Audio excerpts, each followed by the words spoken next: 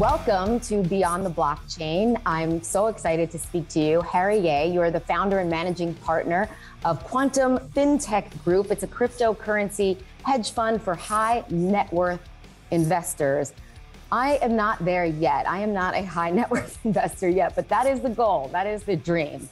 Um, so hopefully you can share some secrets on uh, how to get there. Welcome. I'd love to. Thanks for having me on the show.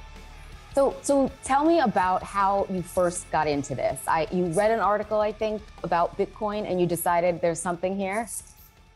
Yeah, so I got my first Bitcoin back in 2013. One of my friends had published an article on Facebook, and I guess it referenced Forbes, and I was like, "What is Bitcoin?" And Bitcoin, I think, was sixty dollars back then. oh, wow. Yeah. Yeah. Once I received my first Bitcoin, I was completely hooked.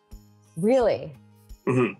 So, for all of the naysayers out there and those who are um, still either on the fence or suspect of Bitcoin, in your opinion, do you believe that cryptocurrency is definitely here to stay? It's the future, or maybe we still have some kinks to work out?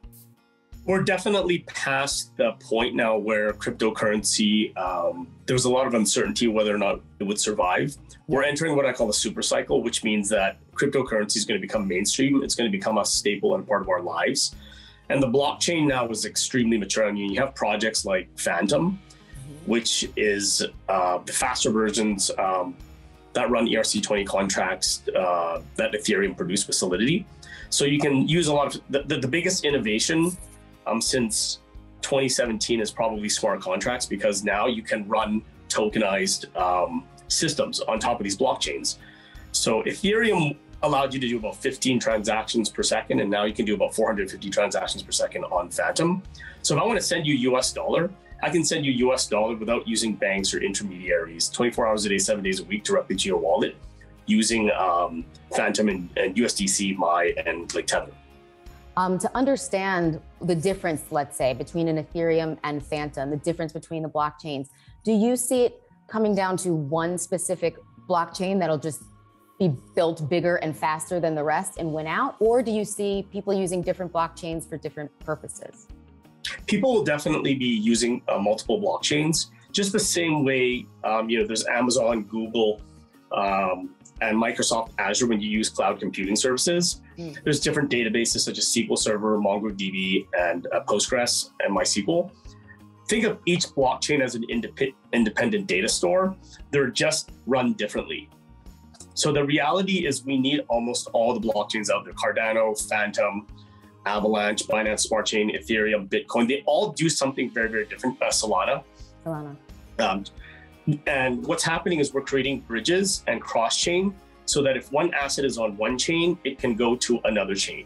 And so you are really, you're all in on Fantom. Um, you've been, you know, pr- promoting it since you discovered it back in um, 2019.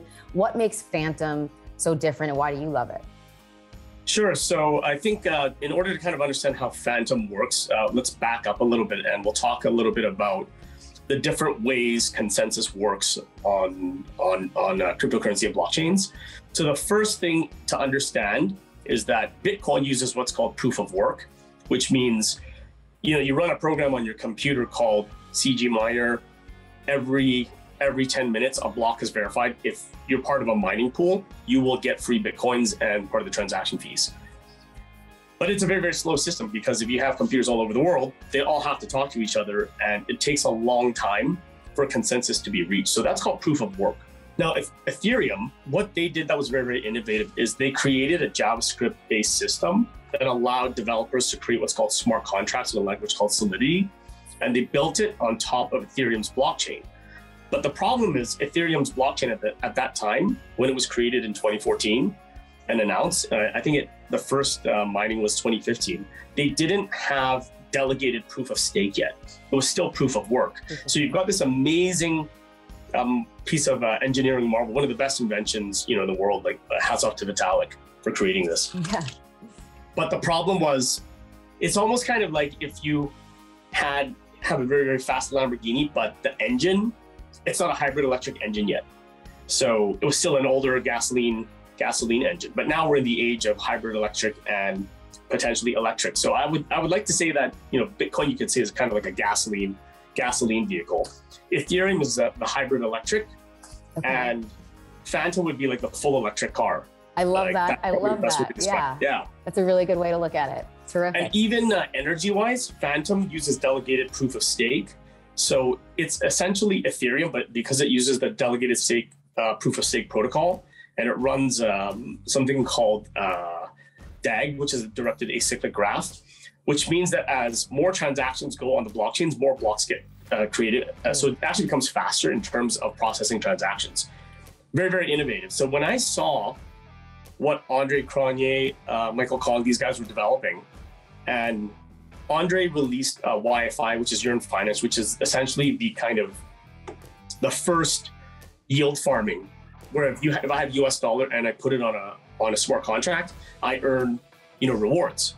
So when I saw that Andre was doing this, and you know previously they had launched Fantom first, I said, "Aha! I know what you guys are doing." And that's when I went all in on Fantom. And I, you know, I, I got into Block One, EOS, Cardano, Cosmos, uh, all great blockchains. But I knew for me as an entrepreneur, even as an investor, I was going to hyper focus. So that's literally when I went all in on Fantom, and I was telling everybody, this blockchain, it's the most undervalued blockchain in the, in the world, even to this day. yeah, and it's it's shot up. I mean, it's been one of the best performing, and Mhm. it's cracked through the top 100 pretty quickly. Yeah, our hedge fund, um, if you had put $250,000 in back in um, 2020 in April, it's worth $56 million right now. Oh, oh my gosh. Oh Yeah. my God, I just had a coronary event. wow. Yeah. But isn't that the the hmm. allure really of crypto is that there won't be one central company, tech company, government that's controlling it? You want to try to balance between the two because if you're a new user and you come into DeFi and you lose all your money right away, you're going to be so turned off by it. Yeah. And you're just Yeah. going to think it's the technology, but the reality, it's because it is the wild, wild west right now. I mean, you heard there was a $320 million hack on Hack. Ethereum, Yeah. right? It's That's these people kind of hear and, things and that it scares them. Yeah. Yeah. Well, just even the companies, you can bankrupt an entire company because of just this one thing. So, by having these safe zones that are kind of designated, if you want to be a part of it, great. If you don't want to, go, kind of go outside. You know, at, at least if there's accountability, if somebody steals or takes from you, there's account. You know, people would be less likely to do it because you know lawyers and lawsuits and everything are involved. Online right now, DeFi, I'm the first person to say yes, we're going to come after you.